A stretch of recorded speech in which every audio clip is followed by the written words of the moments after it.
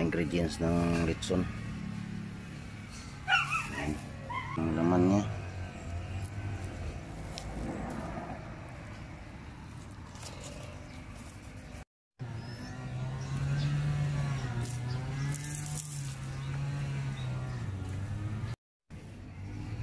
Double na tahi na yan para hindi siya makuan.